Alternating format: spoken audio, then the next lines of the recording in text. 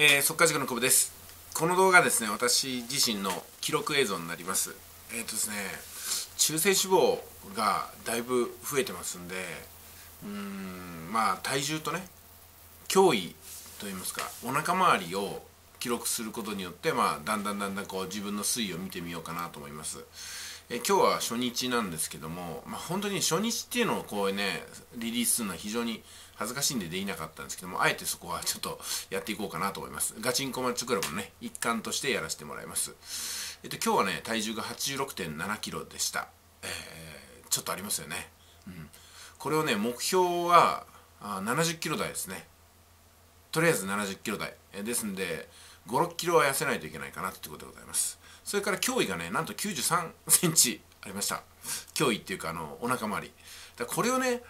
当面は80センチ台にしていこうかなっていうのが私の目論見でございます。今6月始まったばかりなんでそうですね。7月までには形のある成果を出したいなと思うわけですよね。で飲み物はねこのコーヒーのブラックを飲もうかなっていうのとあとはファイバー入りのこの炭酸水ですね。この2つでなんとか空腹を満たしていこうかなと思います、まあ、ですので水分の摂取量は増えるのかなというところでございます。で運動はねあの任天堂のスイッチを買ってその中で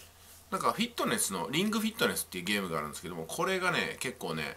あの面白いんで毎日やってます。だいたい100キロカロリーから150キロカロリーの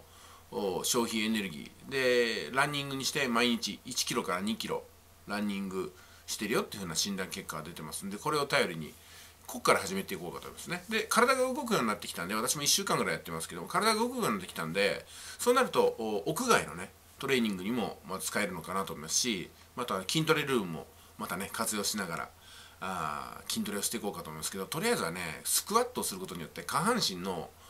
筋肉代謝をちょっと増やしていこうかなっていうとこですね。あと何かあったかな。あ食事ですか。食事の量はね朝をちょっと多めで、えー、夜を少なめというバランスにしてだんだんこう朝昼晩っていう感じで減らしていこうかなと思うのとあとは全体的に量をね炭水化物の量を半分に減らして減らした分、えー、古食だから卵生卵じゃない何ですかゆで卵とかね、えー、まあ、野菜炒めとかを野菜だけの野菜炒めとかね。あと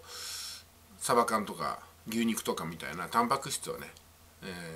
まあ朝と昼の間昼と夜の間ぐらいに入れて1日5食ぐらいでいこうかなと思うんですよ。少しずつをまあ56食みたいなのが勧められてますんでね。それを試してみようかと思います。えもちろんねこれ変更ありきなんで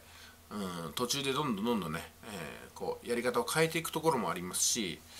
まあ、ガチンコマッチクラブの指導方針にもちょっと従っていこうかなというところでございますね。まあ、とりあえず自分なりにえスタートする日を決めないとねいつまでも始まらないんで今日6月4日スタートしましたということで記録をつけていこうかと思います、えー、それでは本日は以上ですね、えー、体の変化で今はこういうところで撮ってますけども